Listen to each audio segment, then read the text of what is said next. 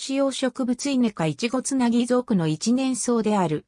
冬を越して越年草となることもある。身近にごく普通に見られる雑草である。缶は、株立ちし、高さ5から30センチメートル、軟弱でざらつかない。地下茎はなく、数本が株立ちになっている。全株黄緑色で柔らかい。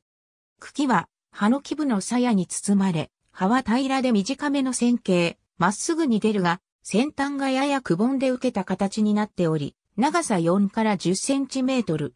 時折葉の円が波打つようになる。果樹は円錐果樹で季節を問わずに出るが主に春に開花する。果樹の枝が横に広がるのが特徴の一つ。コボは卵形、長さ3から5ミリメートル、時に紫色を帯び、左右から扁平で小花は3から5個。森 A は先が鈍く尖り長さ約3ミリメートル、円は透明な膜質で背面の中間部以下に綿毛を密生する。内栄の流骨に綿毛がある。名は、養生や森への円が膜質で、薄い一重を思わせることによる。非常に広範囲に生育している。道端、庭の隅、畑など、おおよそ雑草の生える場所ならどこにでも生えている。しかし、どちらかといえば湿ったところを好み、水田の田植え前には一面に出る。分布も広く、国内は全土に、国外では南極大陸にも帰化している。ヨーロッパ近辺が原産とも言われるが、不明。アメリカ大陸は比較的近年の帰化だと考えられている。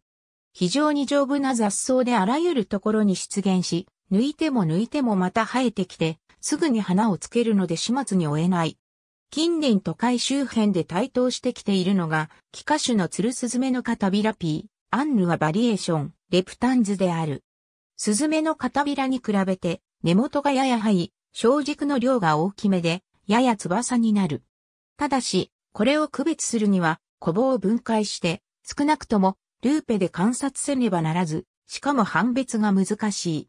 近縁種としては、ツクシスズメのカタビラピークラシナービスが西日本にあり、やや背が高く、穂が上に向いて立つ。確実に同定するには、小棒を見る必要がある。属は異なるが、やや似た姿で、似たところに生育する小型のイネ科植物としては、庭ホコリエアログラステスマルチコーリスがあり、育ち、具合によっては紛らわしいことがある。ありがとうございます。